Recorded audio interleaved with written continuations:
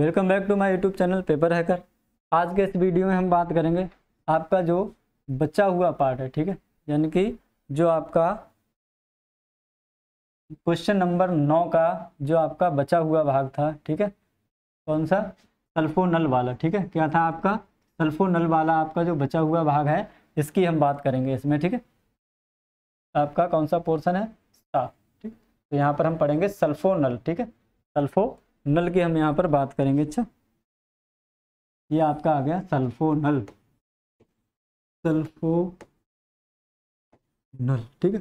कैसे इसका सिंथेसिस होगा? इसका संश्लेषण कैसे होगा? इसके यूज़ क्या है और इसके गुण क्या है, ठीक है? सबको हम एक एक करके पढ़ेंगे। कह रहा है बनाने की विधि, ठीक है? मेथड ऑफ़ प्रिपरेशन ठीक है? Method of preparation of sulphonal. कह रहा है एसीटोन कोई भी आपका एक एसीटोन हो सकता है और थायो एल्कोहल क्या होगा?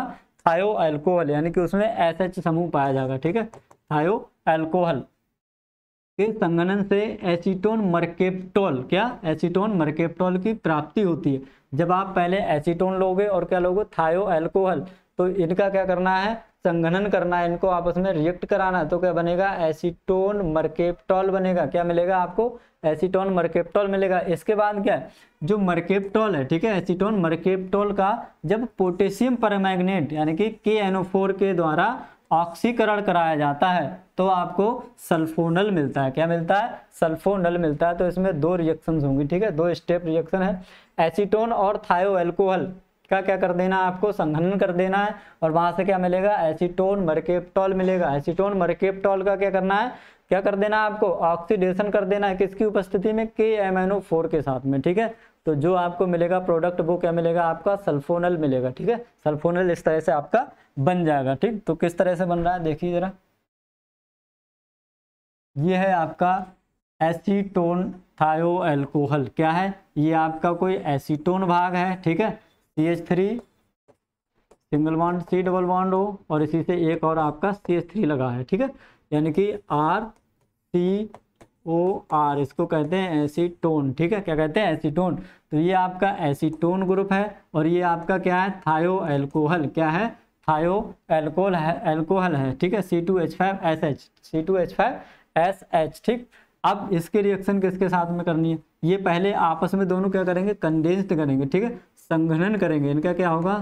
संघनन होगा, ठीक है? In the presence of H C L hydrochloric अम्ल की उपस्थिति में। जब ये आप इसमें संघनन करेंगे तो बनेगा क्या यहाँ से? यहाँ से आपका क्या बन जाएगा? ये जो ऑक्सीजन है, किसका? कीटो ग्रुप से लगा हुआ जो आपका कीटो ग्रुप का जो ऑक्सीजन है, यानी कि कार्बन डबल बॉन्ड ऑक्सीजन जो आपको दिखाई दे रहा है ये जो आपका थायो एल्कोहल है, इसके दोनों हाइड्रोजन जो आपके एस एच के साथ में लगे हुए हैं एस और एच जो आपका लगा हुआ है, ये क्या करेगा? कीटो के ऑक्सीजन के साथ में बाहर निकल जाएगा, ठीक है? और क्या बना लेगा? एच की फॉर्म में ये यहाँ से कुछ इस तरह से बाहर निकल जाएँगे, ठीक है? अब ये डबल बॉन्ड है, ये दोनों एक एक सल्फ़र इससे आके लग जाएँगे, ठीक है? दोनों सल्फ़र कार्बन के डबल बॉन्ड बना लेंगे, ठीक है? इस तरह से। एक आपका यहाँ लग जाएगा। क्या? थायो एल्कोहल और दूसरा थायो एल्कोहल आपका यहाँ लग जाएगा। तो ये बन जाएगा एसीटोन मर्केप्टोल क्या बन गया अभी? आपका एसीटोन मर्केप्टोल बन गया। अब हमने पढ़ा था कि एसीटोन मर्केप्टल कब मिलता है? जब हम किसी एसीटोन का थायो एल्कोहल के साथ में संघनन कर देते हैं तो एसीटोन मर्केप्टोल मिलता है। अब हमें इसका क्या करना है? जिससे कि हमें सल्फोनल मिल जाए। तो सल्फोनल प्राप्त करने के लिए हम इसका क्या कर देंगे? के एमोनो फोर की उपस्थिति में इसका ऑक्सीडेशन कर देंगे ऑक्सीकरण कर देंगे, जिससे कि इस पर ऑक्सीजन आ जाएँगे, ठीक है? ऑक्सीडेशन का मतलब होता है ऑक्सीजन का जुड़ना। तो ये आपका आ गया के एम एन ओ फोर ठीक है? K M N O four potassium permanganate इसकी जब आप रिएक्शन करो, इसके साथ में ऑक्सीडेशन कर दोगे तो क्या हो जाएगा? इसका मतलब होता है कि जो रिएक्शन में आपका रिएक्टेंट यूज़ हो रहा है मतलब यहाँ से आपका ऑक्सीडेशन हो रहा है तो ये जो पहले वाला है, इस पर इसका मतलब होता है कि इसको ऑक्सीजन प्रोवाइड करना क्या प्रोवाइड करना? जितने ऑक्सीजन की आवश्यकता है, वो प्रोवाइड करेगा। कौन? के एम ठीक है? ऑक्सीडेशन में ऑक्सीजन ऑक्सीजन जुड़ता है और हाइड्रोजन निकलता है।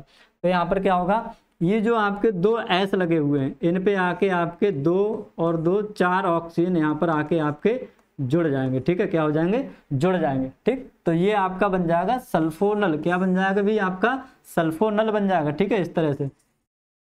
ये आपका क्या है? सी एच थ्री इससे लगा हुआ कार्बन सी एच थ्री और इससे लगा हुआ क्या है? एच ठीक है? डबल बॉन्ड ओ और डबल बॉन्ड ओ और सी टू, और आपका क्या है? एच फाइव है। ठीक, इसी तरह से आपका यहाँ पर भी एस डबल बॉन्ड ओ और डबल बॉन्ड ओ और सी टू, और ये आपका एच फाइव तो ये आपका क्या होगा ये हो गया आपका सल्फोनल हो गया भाई। क्या हो गया? सल्फोनल बन गया, ठीक है? दो तीन स्टेप है और आसानी से ये रिएक्शन कंप्लीट हो रही है, ठीक है? सल्फोनल।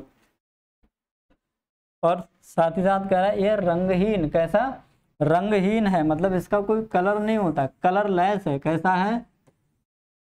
कलरलेस क्रिस्टलीय ठोस है, ठीक है? कलरलेस क्रिस्टलीय ठोस है, यानी कि क्रिस्टल की फॉर्म में ये पाया जाता है, ठीक है? और अवस्था कैसी होती है इसकी? ठोस होती है सॉलिड होती है। इसका गलनांक कितना होता है? 126 डिग्री सेंटीग्रेड इसका गलनांक होता है।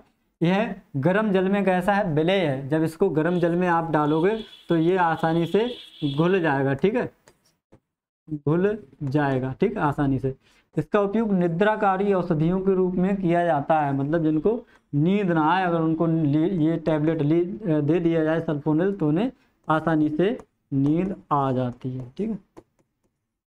तो ये निद्राकारी औषधियों के रूप में इसका प्रयोग किया जाता है किसका सल्फोनल का, ठीक है? क्या पढ़ा था? सल्फोनल पढ़ा था, ठीक है? ये कैसा है, गर्म जल में विलय है, ठीक है? कैसा है, गर्म जल में विलय है, गलनांक कितना? है 126 है, याद रखना। और ये कैसा है, रंगहीन क्रिस्टलीय ठोस है कैसा है, रंगहीन क्रिस्टलीय ठोस है, ठीक है? तो ये हो गया आपका क्वेश्चन नंबर नौ पूरा, ठीक है? आई होप कि आपको समझ में आया होगा। और इसको आप अच्छे से पढ़ लेना, ठीक? चैनल को कर लो सब्सक्राइब। और इसकी एक साइट है W W dot paper hacker paper hacker dot in ठीक है? डॉट इन पर अगर आप जाओगे, इसको सर्च करोगे तो यहाँ से आपको बहुत सारा मटेरियल मिल जाएगा, जैसे कोई भी नोट्स है किसी भी क्लास के। और वीडियो जितनी भी वीडियो पड़ी हुई है, उसके सबके प्लेलिस्ट आपको बने हुए मिल जाएँगे, ठीक है? तो यहाँ से इसको आप सर्च कर लेना, अगर आपको कोई भी चाहिए, कोई भी मटेरियल चाहिए तो ठीक है? बने रहिए हमारे साथ। मिलते हैं अगले वीडियो में। Thanks for watching share the video